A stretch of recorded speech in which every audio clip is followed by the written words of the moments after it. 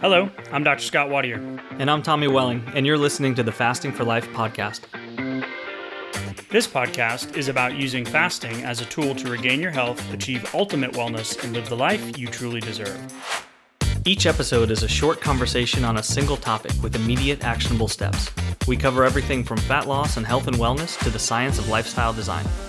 We started Fasting for Life because of how fasting has transformed our lives, and we hope to share the tools that we have learned along the way.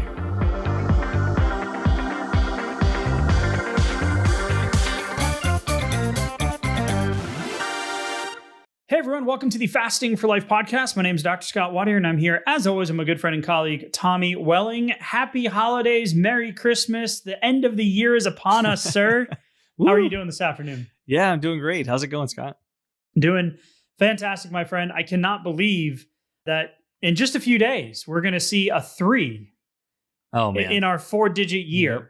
right? So 2023 is here. So the next coming. few episodes, Tommy, are going to be really fun. We're going to talk about the overall benefits of fasting, and then we're going to talk about this Mhm. new concept that we've been working on, which is the fasting wheel of life. So if you Yeah. guys have done some life coaching or some goal setting in the past, there's this exercise that you do called the wheel of life. We're going to apply it to the fasting lifestyle, which is what this podcast is about and what we are Mhm. doing week in and week out and day in and day out inside of our groups and challenges is how do you get fasting to create a quality of life and health level of health that hasn't been obtainable in other dieting and weight loss techniques, right? So how do we make it adaptable to become part of our lifestyle? So we're going to talk about the benefits of the basic benefits of fasting and then we're going to go into the conversation on what does it look like setting yourself up for having the best year the the best year yet. How can 2023 be the best year and not just we're not just talking about the scale and those dang 20, 30, 40 or whatever plus pounds that you've been meaning to get rid of, right? yeah. Um, and then we're going to do a year in review too. Mhm. So, year in review episode, and then then we're going to have a really cool conversation about a study about four and six hour fasting windows and those effects on health. But we're also going to be releasing a new, new, brand new, still in production, okay, brand new resource that is going to be about starting your fasting journey and building the necessary foundational habits Mhm. up to a 24 hour fast and beyond. Yeah. So, it's gonna be awesome. new resources loading, new conversations happening today. Benefits of fasting for metabolic health. Yes, we're going to talk a little bit about the scale, but go a little bit deeper. How we're going to frame out what the start of 2023 can look like with fasting and your fasting goals, right? Insert Mhm. the fasting wheel of life. And then we'll have a cool year in review conversation after the first of the year. Be able to wish everybody a happy 2023 and a happy new year coming up next week, as well as, you know, highlighting the most downloaded kind of episodes over the last year to really direct y'all to the high notes, right? Because now Yeah. that we've gotten 100 and I mean, I think 159, 160 episodes, we want to make sure we have these checkpoints, right? That you Right. can go back to, refer back to. If you're new, welcome. Yeah. You're coming in at a perfect time. If you're an OG, great. We got a we got a place to send you for a reset. And then I'm super excited about that January 10th episode with that new resource that we've got coming. So Yeah, it's gonna be cool. Yeah, put some put some like some guidepost in the sandbox, you know? Like yeah. go go play over here. Some of these episodes are are really cool over here, and we've you know gotten some great feedback from from this one over here. So it's, it's gonna be cool. I love I love closing out the year with some some really good intention because I I I can't tell you like the the diet and and those pounds that I needed to lose. It was always like the reason to do a New Year's resolution for me. It was always the reason to like write some things down at the end of the year, and it feels so much better you know now having having the the tools and having things arranged differently so that that's not That's not my focal point. Even if I, I want to lose 10 pounds or 50 pounds or whatever it might be, the thinking about it and the structure behind it, and then how I'm going to actually measure my progress and give myself feedback on how it's going feels completely like 180 degrees different from how I would have done it maybe five years ago. And then kept, you know, going on that same roller coaster and, and kind of hitting my head up against a corner in frustration. Yeah, there's I mean, there's so much research out there that shows the inefficiency of New Year's resolutions, right? And that you stop, and we're not going to talk about that. We've done episodes on that in the past, right? Right. You know, we've talked about the weight gain and and the the truth about holiday weight gain and and the scale and you know all of the pressure and angst and guilt and frustration that comes along with that. We're going to mm-hmm. frame this in the next few episodes in a positive light of what you can do and what you can control. If you want to hear kind of what we did last year and how we're going to be leveling it up for this year, you know, you can go back and, and listen to, you know, the end of the year episodes through November and December of last year and kind of Mhm. how we frame things out. And this year we're bringing new energy, new focus, new skills, new tools to the forefront of this Yeah. fasting for life journey. So I'm super pumped up about it, super excited about it as well. Me too. So, the start of today's conversation came out of an article from levelshealth.com, which is one of the main players in the CGM world, which is the continuous glucose monitoring world. Yeah. So, there is a skewed kind of focus here on blood sugar, but I think it's really important Mhm. when we can have the conversation about what truly matters and why do we want to lose weight, right? So, Yeah. why are you here? Well, you've probably had failed weight loss attempts in the past. Sure. Most people come to fasting like I did to lose weight, Me too. right? Yep. So, Both hands. up. what are what are those benefits of fasting for health, not for the scale, right? So, Mhm. what is fasting? Why does it matter? What is it important? Well, I mean, we just recorded an episode, I believe it was last week or two weeks ago, where we talked about, you know, the different fasting windows, but the importance of the cardiometabolic implications or what is that going to do in terms of decreasing our risk of becoming a statistic that has a disease process that is due to the carrying and the, the metabolic dysfunction of carrying the extra weight and having an imbalanced lifestyle or view of what health it is, whose responsibility is, and how I can obtain it. Mm. Well, that's a lot different than, well, my doctor said I need to lose 20 pounds, or man, I want to fit into that pair of jeans, or man, I want to weigh what I did when I got married, or that yeah. Possibly unobtainable number from when you were in high school when the imbalance Peak or health. just yeah started right so fasting is a powerful tool to balance that metabolic health reduce the in- inflammation improve cardiovascular health and not become one of those statistics you Mm. know that eight or nine reasons why people pass away here in the united states is because of blood sugar and weight related issues so I want to start with what is fasting, the benefits of fasting, talk about insulin resistance and glucose, and then focus on talk a little bit about weight loss, but then what we should be targeting for the best year yet in terms of 2023 when Yeah. it comes to weight loss and this fasting lifestyle. And that's where the fasting wheel of life is going to come in play. Yeah, because if if all we have to look at is that number on the scale, is that weight, then how does that equate?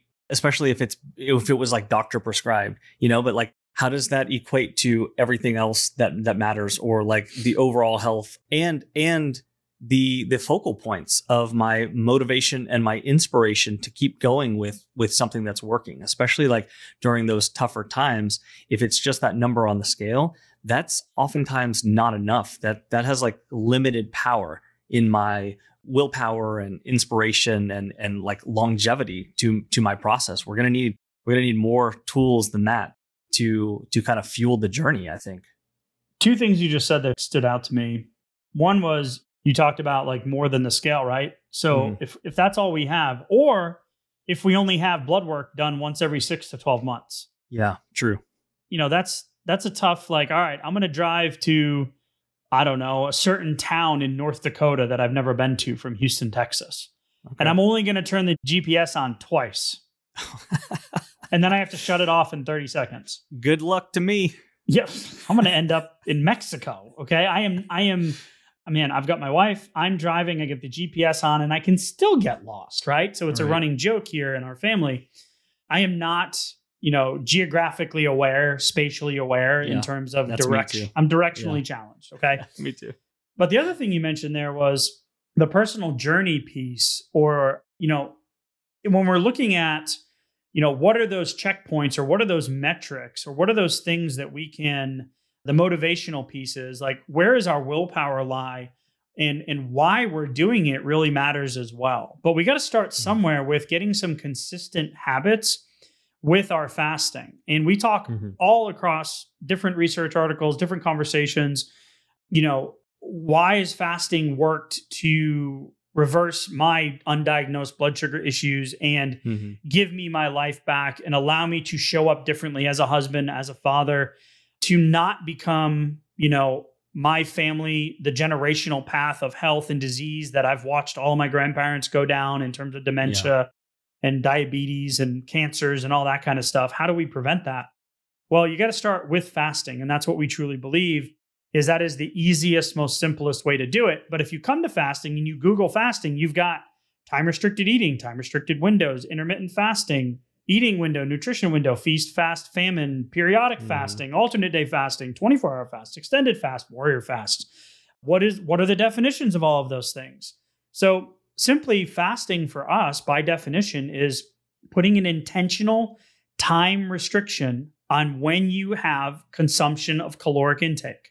Hmm. So you're going to have a window where you delay gratification or you delay food, and then you're going to hmm. have an intentional window to ingest good, nutritionally dense food choices that are going to support your body's ability to tap into those long-term fat stores. You're Yeah. going, okay, that didn't sound any any more simple. right? So Okay. here it is 16 8. Your typical intermittent fasting. You fast for 16, you consume for eight, Mm-hmm. right? Periodic fasting. You've got your 5 2 diet. You've got your ADF schedules, right? And we've done episodes on all of these. So just go back, search Yeah. Fasting for Life podcast, ADF, Fasting for Life podcast, 5 2. Fasting, yeah, it's, it's all there, right? We even did one on fast mimicking diet, right? Which is Sure. Yeah. interesting to me because you consume food, but then it's fasting, but it's not. Yeah. Then you've like got your fast bar. 24 hour fast. Yeah, the fast bar, right? You're- fasting with food. Yeah, fasting with food. Interesting. Your OMAD fasts, right? Your 24 hour fast, your warrior fast, your 20 hour fast. The reality is, is like you have to start somewhere. And most people Mhm. come to fasting. And we talked about the study with the shift workers last week, yeah. you know, about using a 14 hour uh, open, eating window. yeah, time restricted eating window. And then they made a change all the way down, just a three hour change, all the way down to 11 hours, right? So we're not even Yeah. at the 16 8 model yet. So, what I would recommend is you build on this as you go throughout the year, or if you've fallen off, then you haven't figured out a repeatable schedule that works for you long term. Yeah, yeah. So I mean, like that's that's one metric point, like to hit a little bit higher of of a fast than you have in the past. Like that's that's one thing that's not just hey, what what's the number on the scale, but have I been able to consistently have I been able to consistently do like a 14 hour versus a 15 or a 16 or or maybe an 18 hour, right? Like pushing the boundary a little bit. Go ahead. Yeah, it was just, I totally derailed you there because I was pointing at you emphatically. So that was terrible podcasting 101 right there. we are in a audio medium and I'm I'm doing visual things that's disrupting Yeah, your thought course. process. So Yeah, right. But if you're waking up, you're fasting and you're waking up and you're the first thing you look at is the scale, that scale is going to punch you in the face. Even when you do things well, or if you have a good day or a bad day, or you have an expectation, a time related or Ooh, scale related Oh my expectation, gosh, yeah. then you're going to be you're going to be frustrated at some point and enough of those frustrations results in Yep. Chips away. throwing out Chips the plan away. chips away at that willpower right so. Weight loss is important right we know metabolic dysfunction is linked to obesity which is also associated with diabetes and metabolic syndrome and cardiovascular disease Yep. diabetes cancers now type 3 diabetes otherwise known as alzheimer's and Mhm. plaque development in the brain and that you know you can look just google this right and you'll see articles everywhere you know in articles like JAMA and New England Journal of Medicine and Lancet and, and uh, Cell Metabolism and which Mhm. used to be called Cell and Advances in Nutrition and all these different places, right? But the simple reason why fasting works for weight loss is that it's immediately going to put you in a in a place where you can consume less. And Yeah. then it gives your body less time with insulin being high, which means your Mhm. body can tap into and stay in fat burning mode. But there's more at play here because there will be potential, you know, for caloric restriction, regardless if you're fasting or not. Daily long term calorie restriction would, can and will result potentially in both fat and muscle loss if you're not careful. So we don't want to damage our metabolic flexibility, is the bigger point here. And if our Right. scale is our starting point and you're only looking at the scale, you're likely to fail. Wow. Yes. Great points. And I, I feel like just just that frustration piece and knowing where should I be targeting? Like, should it be how often should I look at the scale? Right. Like that that could be one of the things like going into 2023, if I feel like looking at the scale every single morning has been a derailing point let's look at the average let's look at the the weekly the moving average you know that kind of thing and like that's a that's a great way to zoom out just a little bit we don't want to throw it out right because like we need we need the input but we also need it to not derail us on any given day when we have been doing everything right or most things right and then we only have one metric one opportunity for feedback and then it says no you haven't been doing the right thing. And then all of a sudden my brain goes okay well i guess we've been on the wrong track. Maybe this isn't working.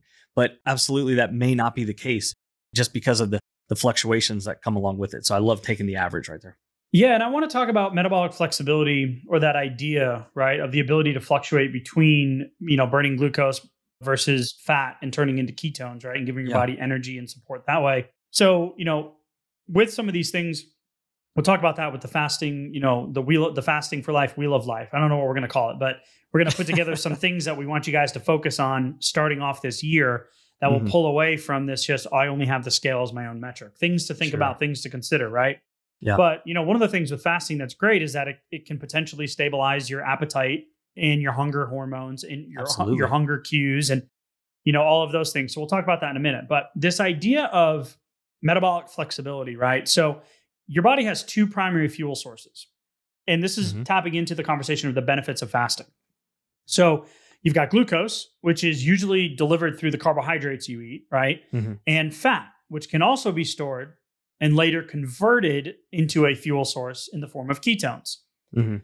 But you also have the body fat, which can Yeah. be converted to fuel, which is what we want to tap into, which is hard to do if you're constantly in a state of glucose. If you're constantly in a state of signaling your insulin. body, yeah, to having insulin in the bloodstream. Exactly. So Mhm. when glucose concentrations rise, your body reduces insulin, which is the gatekeeper, which tells the cells, primarily your skeletal muscle and your liver to begin with, Mhm. to to either burn or store that energy. Yeah. Or it gets if there's excess, it gets converted into fat. So the metabolic benefits of fasting don't start until around that 12 hour mark in some of the research. We have also gone into some of the articles where it shows that your insulin is going to take longer to drop than you would typically expect. And the only way to Mhm. really know that is by looking at your blood sugar numbers in the morning and then periodically throughout the day. So Yeah. the scale isn't going to tell you is insulin dropping enough? And that's why we'll talk about some of these other signals in a minute or Yeah. some of these other things you can look at like energy for instance because you may not be switching into ketosis or you may not have depleted your glycogen enough Yeah. where your body starts to you know turn on that fat burning ketone production Sure. And it- hasn't and it's- to yet. it's not black or white it's a Yeah. it's a sliding It's a scale transition. Yeah. right there's a lot of sticking points you know along the way and that's what that metabolic flexibility refers to is your Mhm. body's ability to toggle between the fed right glucose insulin high state or the Mhm. fasted state where your body can flip the switch to metabolize those carbohydrates stored glycogen and glucose in your skeletal muscle and liver and then allow your body to tap into the fat stores and you know you can also take into account exercise and rest periods as well because that's another way Mhm. to increase your metabolic flexibility but Yeah. we want more toggling into the ketone fat burning state rather than the carbohydrate glucose you know glycogen state which is where Yeah. typically most of us live especially if we had multiple failed attempts at trying to lose the same 20 30 40 plus 50 pounds that seemingly increases as we get older Yeah, absolutely. And like the the longer or the the larger the meal is before the fast started, the more opportunity I had for glycogen stores, right? The the more calories I brought in. So that that means the longer it's going to take to burn through those before my body actually needs to make that metabolic shift, which is which can also be a point of why aren't I in ketosis faster? Why aren't I getting higher numbers on my keto mojo? Let's say, like we hear that a lot. Or the, maybe the strips or the breath monitors, right? Oh Yeah. man, it's showing that I'm not in ketosis. Well, you want to be doing what you just mentioned, Tommy, which is actually measuring the ketone levels. And you, we did a whole Yeah. episode on on ketone monitoring. You can go search again for that and and dive into it a little bit more. But yeah, that's the point. Is that that's what we want. Yeah. What if you? What if in, in 2023, instead of just jumping on the scale every day, what if you took your your blood sugar numbers like upon upon waking every day, and you tracked that average along with the average on the scale for for something to to aim towards and to measure your progress rather than just the fickle mechanical scale to potentially smack me in the face and you know like Right, me derail for- me. for- yeah negative Or or right yeah, or or how my New Year's resolutions go out the window by the end of January, right? Which is what the Right, yeah. statistics show, right? If they lasted that long. Yeah, if if you even Yeah. made them, right? Because you know they don't work. Like you could do a poll, go on the street and ask Right. people. Well, I don't make those. I know they don't work. Great. Right. your brain's like what are we wasting time for Consistent habits is where the is where the magic happens. So when we talk about this metabolic flexibility to land the plane here, and and like really where fasting comes in, the flexibility can can help you burn more fat, right? Say like you're doing more of a keto type diet. We did an entire episode just specifically around the benefit of a 90 day keto diet Yeah, in terms of yeah. diabetes reversal. Huge. Incredibly powerful. Well, because then you don't have to shift so far over as often away Right. from the fat burning. You don't have to go as far to the sugar burning side. When your body's not good at it, doing Yeah. this 90 days consistently yes, it's such an advantageous situation to put your body in from a metabolic standpoint. absolutely it is. The reason we're talking about this is metabolic syndrome in itself, right? Which is three of the five medical conditions of abdominal obesity, high blood pressure, high blood sugar, high serum triglycerides, and low HDL, aka air quotes, the good cholesterol, right? So the metabolic syndrome, so when your body is less efficient at burning fat and gets accustomed to persistent glucose intake, which results in high insulin, then metabolic syndrome, type 2 diabetes, and chronic inflammation are associated with this exact inflexibility of your body to be able to flip that switch, which is where fasting essentially comes in and forces your body to practice this over time. Yeah, This Right. process of switching between carb glucose when you eat and burning fat for energy. So I already mentioned this, just alluded to it, is exercise is another way to do this as well, right? So Mhm. we're not saying don't exercise. Um, but Yeah. walking is a powerful tool. Multiple Mhm. times we talk about walking post meal. Even just putting walking in a few days a week can be a huge stimulator for this metabolic flexibility, right? So Yeah. fasting is going to literally force your body, and I don't mean painfully, but like it's going to stack the deck in your favor by putting Yeah. yourself in this period of your body to get better at decreasing the insulin and turning on that ketone burning ability or that fat burning ability. yeah. What what really helped me when when understanding that is is the idea that if I've been accumulating weight for for months to years to even decades, and I and I really haven't consistently like been staying at a stable, healthy weight for a long period of time, uh, like history of failed diets and, and things like that. It doesn't Right. it doesn't have to be like all doom and gloom in the history, but at the same time, if I've been accumulating weight, then that means on average, like I haven't had to be in a ketogenic or or a ketone producing state. So that means that I haven't been transcribing the the genes that lead to the enzymes that put me in a in a ketosis state. So that's something that has to be ramped up. It's a practice for the body that it gets more efficient. You you get better at it over time, and that's why this metabolic flexibility can get better and easier and more efficient over time. But that's that's why that that ketogenic phase, that ketogenic diet phase, can be such a powerful thing, especially with a lot of insulin resistance, because you, you don't have to be very good at it just yet, and it allows the the body a chance to to actually adapt to that, get better over time, and still you know still see good results with fasting and, and with your nutrition too. Yeah, and I, I was going to go right to, to insulin resistance, and you led me right there. So, Yeah. you know, regardless of all the fasting types that I rattled off in the beginning, it shows research shows and suggests that you can improve insulin sensitivity with any of those types of fasting quickly. Mhm. This Yeah. means that cells, they're smart, that can take in glucose efficiently, allowing blood sugar to return to normal after eating.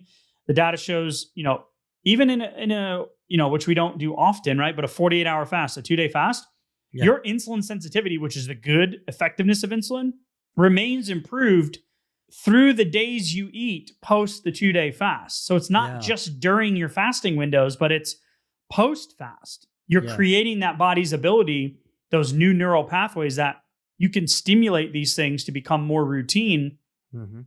which is you know why once you get through those first few stumbling blocks with you know hydration and electrolytes and sometimes you get the dizziness Yeah. and the headaches when you transition the Yeah. sleep disturbances when you transition from sugar burner into fat burner or from you know glucose glycogen into ketone production you're going to see that you know playing around with those fasting windows can actually have a better impact on your circadian rhythms which is the hormone driver of your body so not just insulin, but also the circadian impacts as well, which is really cool what we saw in that shift work study that Mhm. we talked about last week. So It's huge for long term right there. yeah, right. Because we want to reduce risk and not become the statistic, right? And we share the stats often, and we know sometimes it can be heavy, but the reality is, is that's the path I was on. That's the Me path too. that we're all on, unless we do Mhm. something different, right? So Yeah.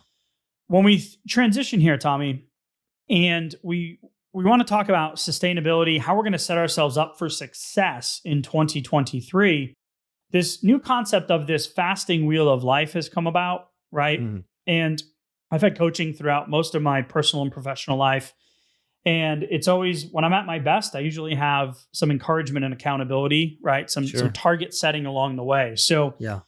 we do goals training, right? Where you set smart goals, but we actually make it smarter goals and we Mhm. apply it to the personal realm. This is all stuff that I used to do, in, you know, inside of the clinics a lot, where Yeah. we get together and do a year in review. But the smart goals is like sustainable, measurable, attainable, realistic, timely. There's other words you can swap in and out of there, depends on whose spin you put on it. But then the E and the R is the most important part for us, which is you evaluate and you Mhm. realign or you evaluate and you review or you Yep.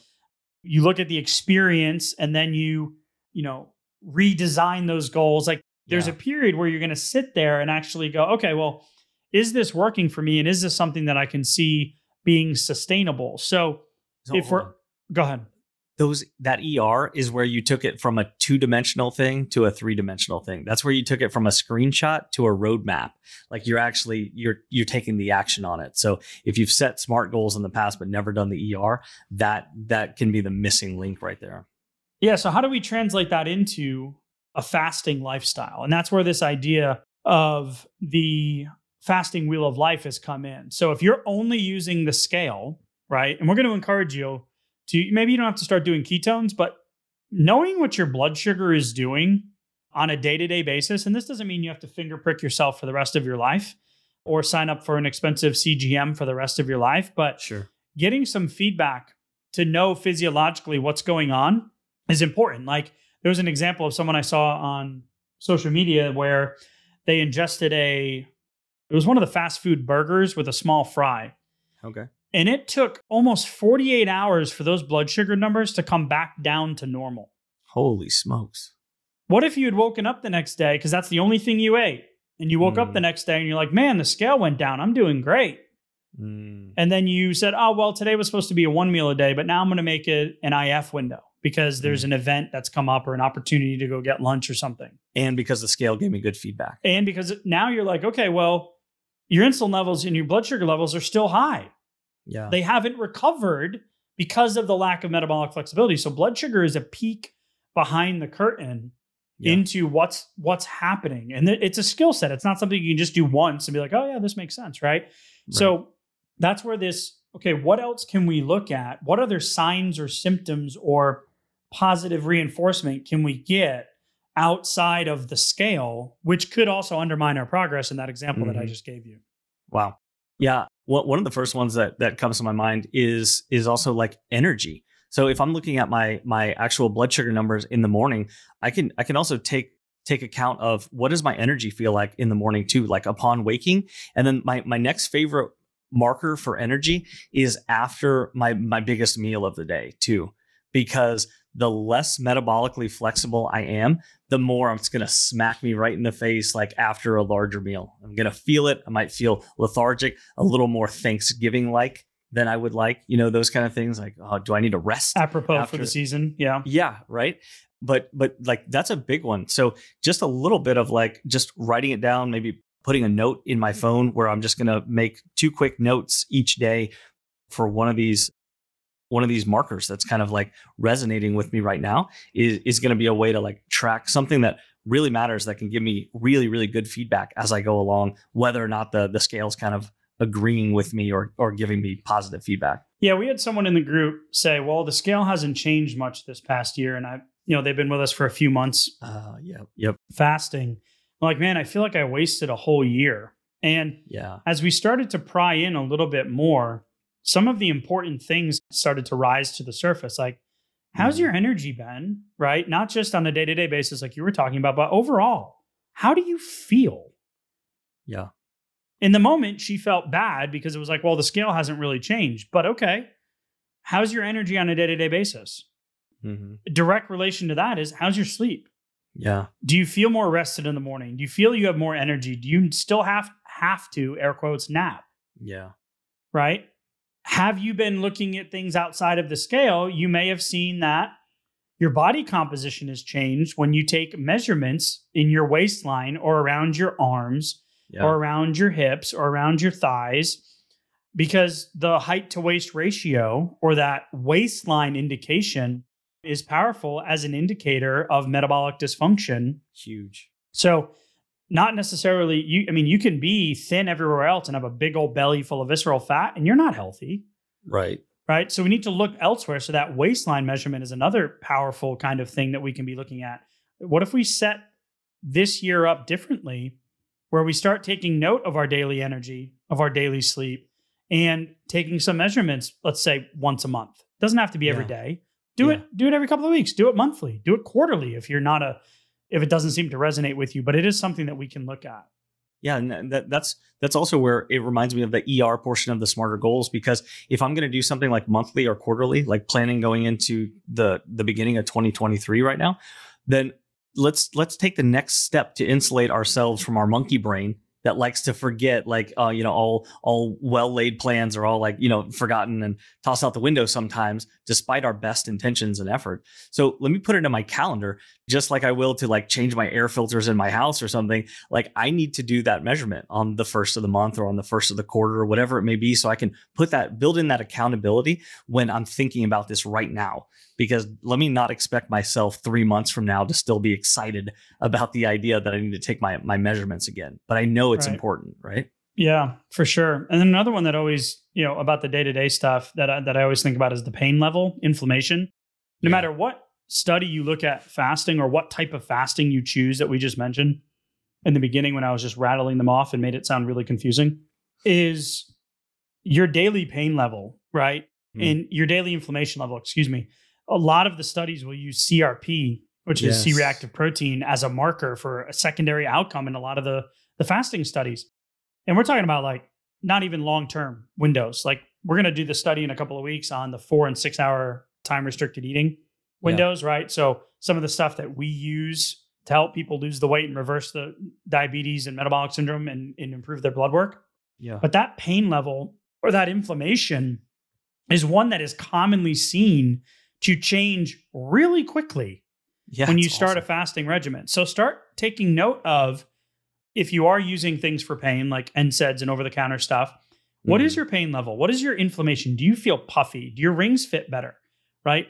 Do you do you have less water retention, et cetera, et cetera, which can also be seen and which is one of the other, you know, categories on this wheel of life that we're developing is what does your blood work look like? Like maybe you should do Mhm. another series of blood work at 90 days following a an intentional fasting regimen rather than waiting the next year until it's doctor recommended right that you Sure. go and look at your blood work so i would i would recommend adding in your crp level taking a look at your full cholesterol panel taking a look at what your fasting insulin level looks like right because now you're talking about some of the things just like the blood work compared to the blood sugar number compared to the scale on a day-to-day basis right Mhm. you know, looking at those markers are really going to be where the secret lies to that long term improvement or that long term success rather than just waiting until the next yearly physical comes up and then you're like, oh, there goes another year. Yeah. So, so, and that might involve like a conversation with your doc about Yeah, the yeah. fact that you want to do that blood work again in 90 days, right? Right. Or if you if you can't get that approved or you know get the the stamp that you need, maybe that means getting your own blood work done in Yeah. the meantime, Yeah. right? Like you you can always walk into a, a place and do that. Like, but that Don't buy the next meal plan off Yeah. of off of Right. Facebook. Go and I'm I've done it. 21 day boot Sure. camp, 21 day fix, right? Don't do that. Go take those pay for the- funds. Go Yeah. pay for the blood work to see where you're at and see what's changed over the last night, or a DEXA or a body scan, even right? A Yeah. DEXA, a, a body composition scan. If you're farther down the advanced level, or maybe you're getting closer to maintenance and you want to see what changes have taken place. Yeah, I, I love that. And, you know, like, because along with the pain level might come along with, like you were talking about swelling. So maybe it's swelling in the ankles or Yep. swelling in your feet. Like, and, Right. and even, even like a little bit of swelling in the feet goes a long way for, for lack of being able, like proprioception and like understanding where I am in space. And it makes me want to not move around as much. I don't want to be as active if, if I have a little bit extra swelling, like in my feet and ankles, right? It's like, it's hard to balance at that point. So you can kind of Yeah. feel those things like kind of coming down potentially as as a potential marker you know for for what you're doing with your fasting and then when you when you do go to actually break those fasts too you have another opportunity for feedback there because you have your cravings and relationship with food which is a huge portion of that long-term sustainability portion. And that's where a big shift happens between going from diet over to lifestyle. Because when i start to look at what my cravings and my relationship with food what those look like that's going to determine a lot of the being able to enjoy the process being able to stick with it especially when it's like it's not as exciting like it's not the beginning of the year motivation kind of comes down a little bit but i still have these important long-term goals right and so so that's a, that's a big part of the equation too Yeah, you said something there about breaking the fast, right? So if we're thinking about blood sugar levels, right, and metabolic flexibility, breaking the fast is important. So you might be used to your body getting fed at certain times of day, triggering your hunger hormones, you know, the the hunger cues that are from your five senses and not actually related to hunger, or maybe it's an electrolyte imbalance, aka people will say you're dehydrated. It's not the water, it's the trace minerals and electrolytes that you need, which is Right. stimulating that hunger. So the hunger can tempt you to break your fast and then again send your blood sugar off in a direction you don't want to be at. So the intense swings in the blood sugar is what can also, you know, food cravings, irritability, that that dependence or that relationship with food because you're Mhm. accustomed to doing it a certain way, right? So when you break your fast, you want to ease into it, eating a meal with intention that doesn't send your glucose soaring. And you may not be good at this in the beginning. You may not be great every time you break your fast because people say, "Oh, I thought if you fasted, you could just eat whatever you want." Eat whatever well, you in, want. yeah in the short term, you probably can, but eventually you're going to get to a point where you've lost some weight, and now it's time to to hone in on those those nutrient dense foods that are going to satiate your body, Yeah. protein and fat primarily, when you're when you're in a weight loss phase, and then Mhm. it's going to have less effect on your blood sugar, which is going to have less less ramifications in terms of food choices and Yeah. those blood sugar swings. So that's a big component we feel if you're listening going, okay, I thought they said they were going to give me a wheel of life here, right? So Right. I want to rattle these off and then wrap up today, Tommy. And then I'm really excited about the next two episodes coming up as well. But Me the fat, the wheel of life exercise would be draw a circle on your page, right? And Mhm. draw four, like draw a pie. So like you're, you're Yeah. cutting a pie into eight pieces. So draw one, two, three, four lines, Yeah, right? like a homemade pizza you know not like yeah, there you go. yeah. Right. So so cut it. You got a circle. Yeah. Vertical line, horizontal line, and then two other lines. Right. So you got eight pieces now, and then you're going to put in your eight things that you're going to rate yourself on a scale of zero to ten. Zero's in the middle. Draw nine little dashes out, and then ten is the best out at the outside of the wheel. Okay. Mhm. okay And and you're going to do this is what we propose. Daily energy, how you feel on a day-to-day basis, sleep quality, your waistline or measurements category, Mhm. your blood work, your pain levels, your inflammation levels, your swelling, your weight. Yes, put your weight as a category. Let's not pretend it doesn't exist, okay? sure yeah And then your relationship with food on a 1 to 10. And then the last category we put here is that personal relationship category yeah or you know, your social circle, your friends and family, the ones that we tell you not to talk about fasting with when you're starting out, right? and you're going to rate yourself and you're going to draw a line, put a little dot, and then you're going to draw a line and connect those dots and see what your wheel looks like. Yeah. If it's anything like me in the past, my wheel could not get me from here to the mailbox because my wheel was dysfunctioned, it was broken, Yeah. and it was wobbly. it was not a wheel. Okay, this is not a wheel I'd want to travel anywhere on because it would be very wobbly and uncomfortable. It's a caveman block, you know? Right, right. We need to shave down some things and improve some areas, but you're going to need to Mm. do this for you. So rather than setting these goals and these New Year New Year's resolutions at the beginning of the year, let's try a different approach this year. We're going to use fasting to stack the deck in our favor to improve our metabolic flexibility. We're going to put a little bit of intention in the beginning into what we're going to eat when we break our fast after we set our timers. And then we're going to look at other things outside of the scale to put together our fasting wheel of life, which is going to feed our sustainability and positive reinforcement as we go on throughout the year. Yeah, I, I love that. And one note about the personal relationships, I know you've you've said it in the past, like your your wife said when you started fasting, like you just seem you just seem happier. You just Yeah, I seem- wasn't as angry. Yeah, right. And and I mean that that emotional stability that comes off of getting away from like the hanger and the blood sugar insulin volatility that that comes along with with not fasting and not being Right. intentional with with eating times. Like that that's a big component. But you add that up over time, it seeps into every one of our relationships, personal, professional, and otherwise. So it's it's really cool to be taking stock of like how how are those relationships doing and and how are they affected by my fasting because when I have all of these things, these like tools in my tool belt, and now it's eight rather than just the one looking at the scale. I mean, Right. now I have a, I have a much more comprehensive picture about how this is going. And do I feel like I'm doing what I need to do? Do I need to do more of it or or less of something over here because it's not working? I'm I'm getting a much better visual picture of that. Right.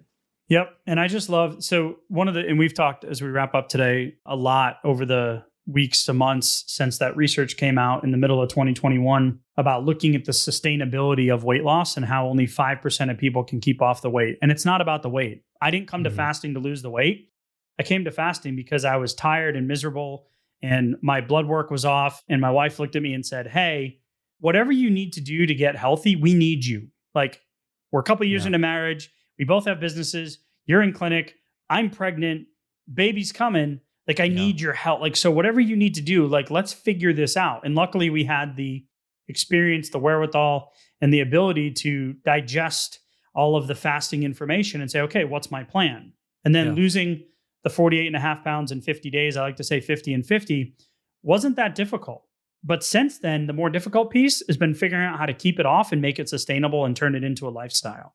Right. And that's the intention that we want to wrap up 2022 with. What which wherever you fell on the spectrum of success, believe you can or you can't, you're right. So we want to give you some new intentions, some new tools, which is why we're framing this in a way where we need to create the fasting lifestyle sustainability. And what that's going to look like for you is going to be a little different than the person next door.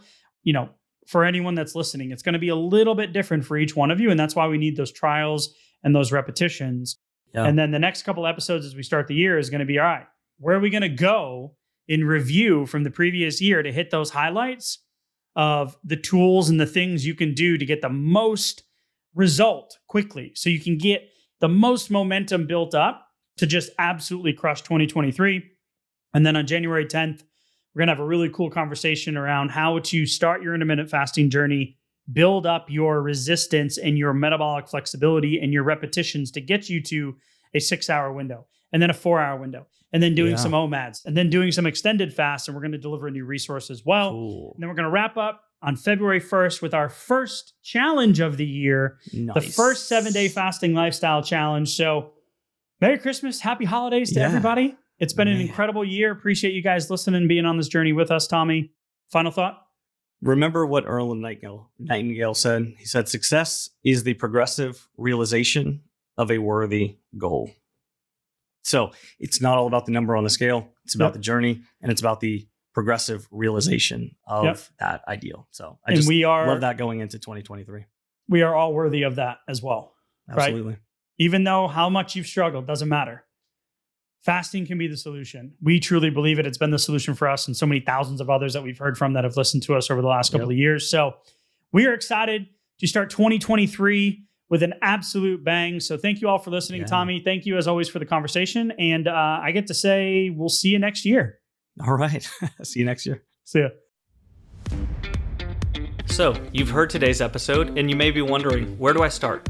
Head on over to thefastingforlife.com and sign up for our newsletter, where you'll receive fasting tips and strategies to maximize results and fit fasting into your day to day life. While you're there, download your free Fast Start guide to get started today. Don't forget to subscribe on iTunes, Spotify, or wherever you get your podcasts.